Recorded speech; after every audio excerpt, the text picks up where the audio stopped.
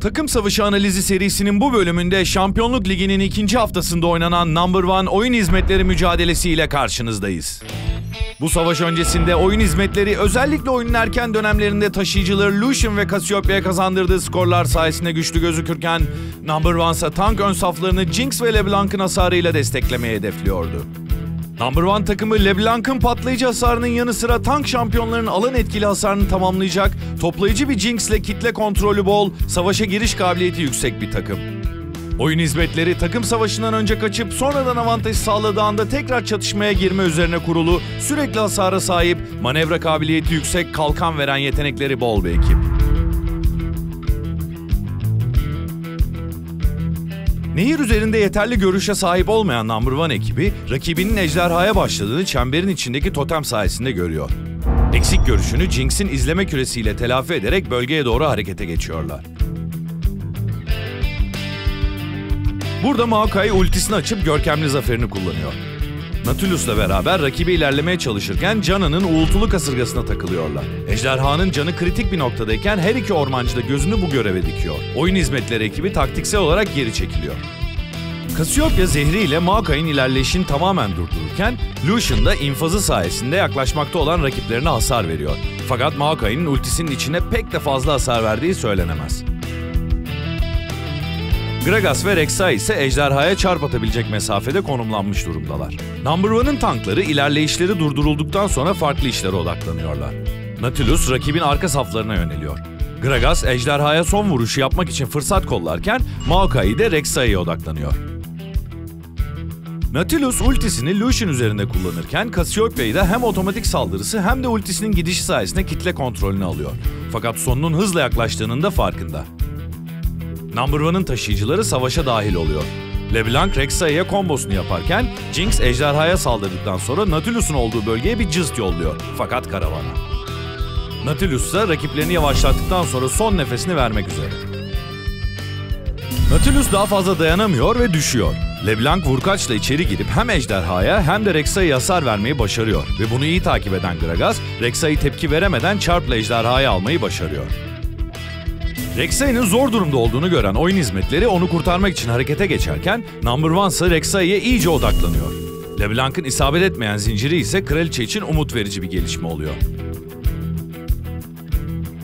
Rek'Sai'yi ölüm çemberinden çıkarabilmek için oyun hizmetleri ekibi iki ulti birden kullanıyor.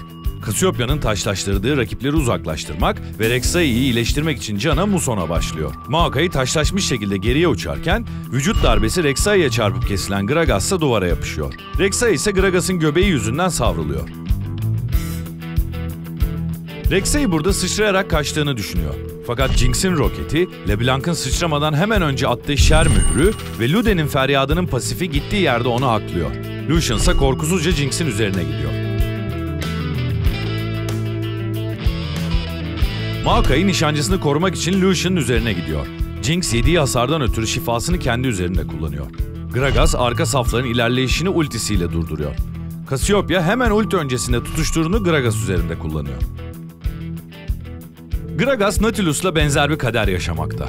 Fıçısı ile yavaşlattığı Canan'ın panikle yanlış tarafa atılan hortumu biraz daha hayatta kalmasını sağlıyor. Fakat Cassiopeia'nın tutuşturu ve zehri onu hızla acı sona doğru yaklaştırıyor. Jinx ve Maokai'nin Lucian'ı zor durumda bıraktığını gören Lulu hiç düşünmeden ultisini kullanıyor. Gragas ejderha çemberine doğru çekilirken LeBlanc yeteneklerinin bekleme sürelerinin dolmasını bekliyor.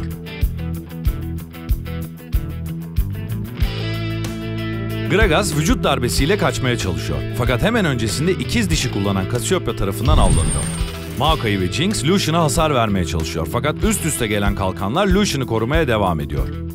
Jinx'in patlangaçları biraz geriye düştüğü için şimdilik kimseye etki etmiyor. Bir anlığına odağını kaybeden oyun hizmetleri gerçek tehditlerin hala ejderha çemberinde olduğunu fark edip hamle yapıyor. Ama az önce kimseye etki etmeyen patlangaçlar onları durduruyor. Roket atarlı otomatik saldırı kritik hasar veriyor ve LeBlanc'ın iştahını kabartıyor. Jinx'in daha fazla otomatik saldırı yapmasını engellemek için onu Poro'ya dönüştüren Lulu, LeBlanc'ın vurkaçı ile düşüyor. Cassiopeia ise Seraph'in şefkatinin kalkanı ile daha zor bir duruma düşmekten kurtuluyor. LeBlanc kaçarken zincirini Cana'ya tutturuyor ama ultisi hala bekleme süresi. Lucian otomatik saldırısını ertelediği için Jinx bir süre daha hayatta kalmayı başarıyor. Cız kullanıp bir otomatik saldırı yapıyor fakat ayaklarının dibine atılan zehir onu kaçınılmaz sona götürüyor. Oyun hizmetleri üçlüsü son tehdide odaklanırken bu sırada LeBlanc ise son kozunu oynamaya hazırlanıyor. Jinx son nefesini verirken Cassiopeia LeBlanc'a çok kritik bir zehirli patlama tutturuyor ve dişleriyle hasar vermeye hazırlanıyor. Maokai LeBlanc için bir boşluk yaratmaya çalışıyor ama Number One son derece zor bir durumda. Çatışmanın en dramatik anında Maokai oyun hizmetleri üçlüsünü sihir vuruşuyla savuruyor. Bu sırada pasifi aktif hale gelmiş olan LeBlanc fırsatı kaçırmıyor, önce mührünü Casio üstünde kullanıyor ve bu üçlünün üzerine vurkaçla ilerlemeye hazırlanırken Cana'nın yolladığı hortuma takılıyor. Yetenek bu şekilde iptal oluyor ve hasar vermiyor. Luden'in pasifi hasar vurmasına rağmen oyun hizmetlerinden kimse düşmüyor. O ana kadar 2 skor almış olan LeBlanc muhtemel bir 5'te 5'ten oluyor. Lucian menzilinden çıkmadan önce LeBlanc'a son vuruş yapmayı başarıyor ve kaçan LeBlanc gittiği yerde düşüyor. LeBlanc'ın intikamını alabilmek için Cassiopeia'nın peşinden giden Maokai'yi rakibini düşürmeyi başaramıyor. Pozisyon devamında oyun hizmetleri oyuncuları tek başına kalan Maokai'nin de işini bitiriyor ve takım savaşında bu şekilde kazanıyorlar.